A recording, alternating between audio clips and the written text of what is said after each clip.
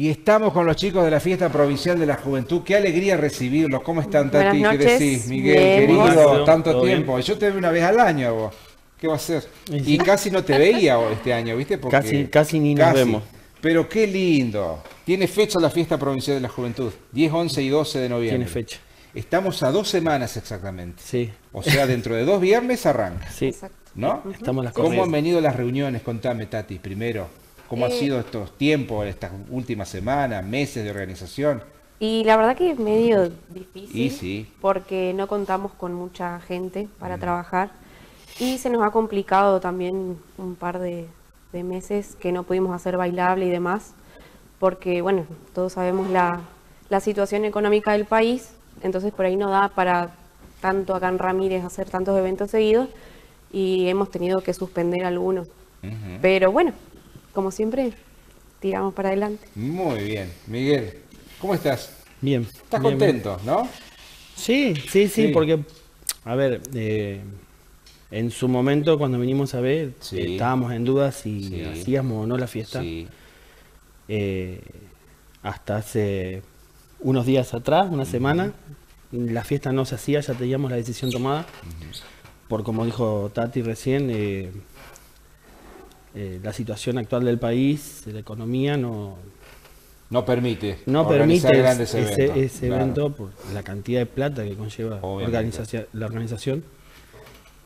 Tenemos el claro ejemplo de la fiesta de la avicultura, Sí. que no se hace por ese motivo. Tenemos la fiesta de la miel, que también está ahí de, Sí. de no hacerse o hacerse algo chiquito, porque son muchos millones y, y es muy arriesgado. Totalmente. Pero Pero, bueno. además contaste en aquella oportunidad que las bandas no te pasaban presupuesto. No, no, no, y aparte es algo, una locura lo que piden. Es- son montos que no, no, no se pueden contratar hoy en día para... eh, pero bueno, Pero fíjate vos que en pandemia se mandaron una flor de fiesta a contrarreloj. sin Sí. desfile de carroza, pero hermosa Sí, y muy hermosa. recordada por todos. Una hermosa fiesta, Sí, sí. muy Sí, familiar, Fue muy a contrarreloj también. Fue a tre- la hicimos en tres semanas. pero salió extraordinariamente bien. Sí, sí. Y este año más o menos. vamos Más a o hacer menos lo mismo. Sí, Sí. Perfecto, sí, claro, sí. Así, así es. La idea es, bueno, como te Y decía... bueno, ahora sorprendieron con las publicaciones, 10, 11 y 12 de noviembre. Sí. Eh, Primero íbamos a hacer la cacería del zorro Claro. solamente. Claro. Se había planteado hacer eso porque, bueno, los nenitos siempre Obvio. es súper entusiasmados con eso. Y no demanda eh, muchos Claro, gastos. sí. Claro. Y bueno, y después queríamos hacer algo solamente el domingo. Y bueno, y salió el, el sábado también, algo tranqui. Pero bueno, así que quedaron los tres días. Quedaron los tres días. todo iba a ser tranqui. Sí. Tranqui hasta la reunión del martes. El martes El, mar- reunión. el martes fue en la reunión porque veníamos ya con la decisión de no hacerla y, Y ahí el- cerraron, ahí el lunes íbamos a hacerla, bueno, su- ya se suspendió, le hicimos el martes. Y bueno, ya estamos, la esencia de la fiesta no se puede perder, algo tenemos que hacer. Y bueno, con ella y los pocos que somos en la comisión, dije, bueno, vamos a, a ponerle el lomo de vuelta y con la poca plata que tenemos, la ayuda del municipio, del área de cultura, de Flavia, Tito y los empleados municipales, eh, vamos a hacer algo. ¿Recibieron el aporte municipal? o Sí, sí, ya lo recibieron. Sí, sí, sí, lo recibimos en, en Las Pasos, entonces nosotros lo, lo pusimos en, o sea, no es, lo pusimos, en esa fecha lo recibimos, entonces lo, lo pusimos en la ganadera, Muy bien. para que genere algo de interés, por lo menos, no es mucho, pero Sí, para tener un poquito más de plata. muy bien. ¿Qué va a ocurrir el día viernes 10 entonces? El viernes El 10 hacemos viernes la 10. cacería del zorro. Viernes 10 Cacería del Sí, Zorro. vamos a entregar eh, lo que es premios y demás en la sede de nosotros. Y bueno, se hace el mismo circuito que el año pasado, se cortan las calles y demás. Y la idea también es poner, eh, tuvimos reunión el miércoles con la gente del municipio, con cultura y demás. Y bueno, eh, vamos a armar algo como para poner música el viernes ahí El año en la pasado, avenida. Tremenda movida en la avenida. Sí, en la avenida, Claro, porque se cortan las calles. el año pasado. sí, igual que el año Exactamente. O pasado. sea, aquí Sarmiento y San Martín, en esa misma Sí, esquina. Sí, sí, el, el Diego Mendoza, que es el delegado de juegos, ya tiene todo organizado. Eso ya hace rato que él tiene organizado. Eh, así que bueno. Y, Y las el- inscripciones se abren A partir del lunes. semana, a El partir del lunes. A partir del lunes hasta eh, el miércoles 9, 8. Miércoles 8, las inscripciones están abiertas de la- para... Es para Obviamente se van a 10 recibir... Para grupos de Sí, sí, 10, como sí. siempre. Como El sistema es el mismo. Eso después vamos a ir subiendo a las redes, todo lo que sea precio y demás, eh, vamos a ir subiendo, porque todavía eso no lo tenemos muy bien visto, digamos. Así que bueno, eh, vamos a ir subiendo en estos días lo que sale en la inscripción. Bien. ¿Y para personas de qué edad es la cacería del zorro? No, te- no es, es sin límite de edad. Siempre que sean menores, tienen que ir acompañados de un mayor responsable, pero después no hay límite de edad. Viste que est- estaría hermoso que haya grupos de 50, 55. Y el año, pas- 60 el año pasado Se tienen tuvimos. que prender. Está muy bueno eso. O sea, obviamente eran cuatro o cinco adultos No importa, mayores no con sus eh, nietos Obvio, o claro. sobrinos, pero había gente grande participando. Muy Se bien. sumó más que otros años la gente grande a participar. Claro, muy ¿Y cuántos zorros habrá en esta oportunidad? ¿Ya lo definieron? No, Sí, eso está verdad. Diego ahí a verse porque está, eso está hasta, lo, hasta último momento porque hay gente que se baja, que a último momento decide no, no participar del, de ser eh, zorro. Eh, pero mayormente son 20. Bien. Bien. Bueno, viernes 10 entonces, a partir de las 8 de la noche. 19 horas en 19. la avenida, en la sede de la fiesta y después todo va- se va a dar ahí en la avenida eh, San Martín que vamos a poner música, va a estar ambientado ahí para que haya otro mo- movimiento. Muy bien. Sábado 11. ¿Qué va a ocurrir ese día? Bueno, ese día eh, lo hacemos en el Salón de los Inmigrantes, Ujú. Pero por una cuestión de que todos los años nos llueve. Algo pasa. Todos los años llueve. Sí, Y a nosotros nos quedó eh, la plata eh, de la seña de lo que nosotros habíamos hecho, íbamos a hacer ese bailable que suspendimos, en octubre. y la dueña del salón nos la reconoce igual. Entonces vamos a aprovechar eso también y lo vamos a hacer ahí.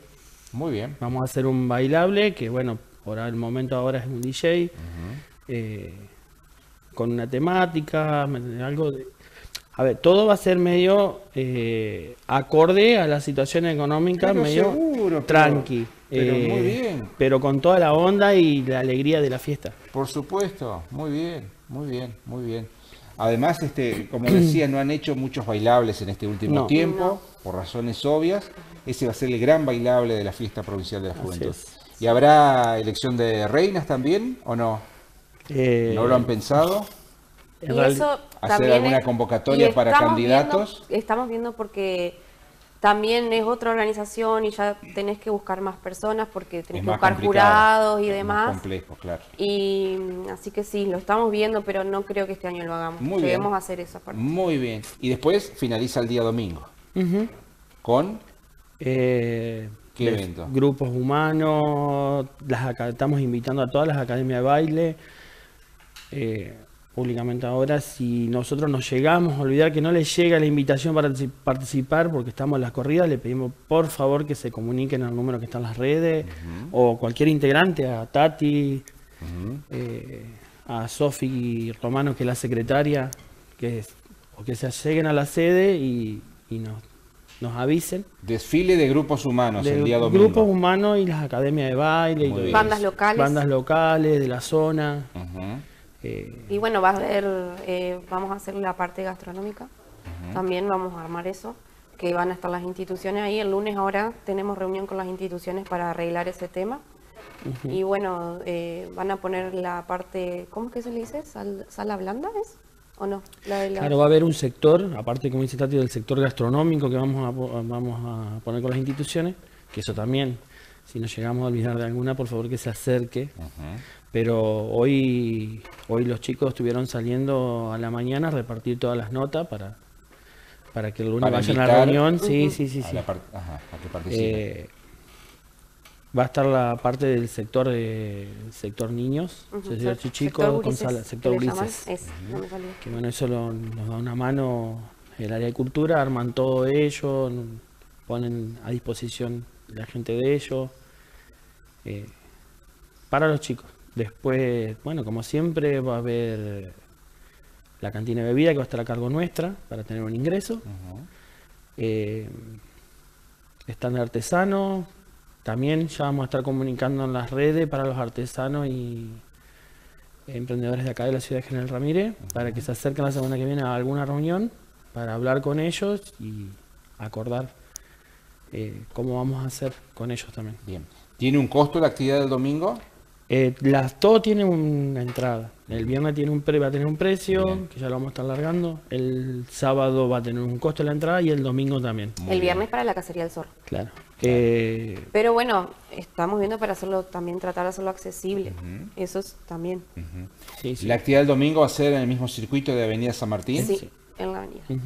Muy Sí, bien. sí, sí. Volvemos a la avenida el domingo. Muy bien. Eh, para una cuestión de, de movilidad y de, de costos también. Sí. No nos queda otra. Pero bueno, eh, queríamos hacer la fiesta. Algo queríamos hacer para que no se pierda el Muy bien. espíritu. Aparte este año. escuchamos mucha mucha la gente que, Sí. que estaba comentando Sí. que era una lástima que nosotros que las fiestas no se vaya a hacer. Eh, gente que por ahí siente mucho la fiesta y está esperando que llegue noviembre para ir a sentarte con el silloncito de la avenida o ver la cacería del zorro. Así sea con un mínimo espectáculo, pero Sí. ir a sentarse a, a mirar. Totalmente, totalmente. No, no podíamos, no. Muy Y bien. desde ya invitar al que se quiera sumar para ayudarnos.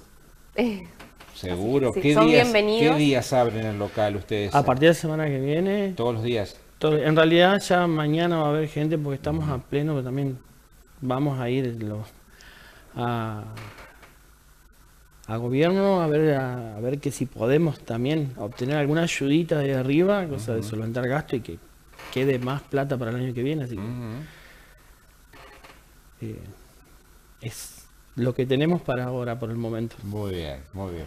El- Y bueno, y después son, la- son las elecciones, el balotazo el fin de semana siguiente, ¿no? Así Sí, que el 19. justito, extraordinaria la Sí, fecha sí, que han sí. elegido para esta fiesta, entonces que se va a realizar 10, 11 y 12, 12 de de noviembre. Sí. Ujú. Déjame agradecer, Claudio, a la gente que ya nos está mandando para darnos una mano para el tema de las cajas, de la cantina, porque ya, ya hay gente que se está ofreciendo para eso. Por eso decía Tati invitar más. Se necesita mucha gente. Agradecer a los chicos de la comisión, que son los que se están poniendo también todo el, trabajo encima. Y, y bueno, la familia de nosotros, de amigos que se bancan esto también de, de andar a las corridas con nosotros también y aguantar. Muy bien, muy bien. Gracias por venir, felicitaciones y estamos atentos eh, a todas las novedades Sí, y a disposición, por supuesto, para lo que quieran informar más cerca de la fecha a lo Sí. mejor. ¿Sí? Exactamente. Esa última semana, Sí, vénganse sí. de nuevo, Sí, sí, ya sí. para brindar algunos detalles más concretos. Exactamente. ¿Les parece? Sí, Listo. Claudio. Muchas gracias. No, gracias a. Gracias vos. Realmente, el gran esfuerzo que están realizando los chicos para que Ramírez pueda eh, tener nuevamente su fiesta provincial de la juventud, que es la edición número, ¿qué año es este? 43. 43, mire usted. Vamos a cambiar de tema. Se realizó un taller de inteligencia emocional en la Biblioteca Popular Luis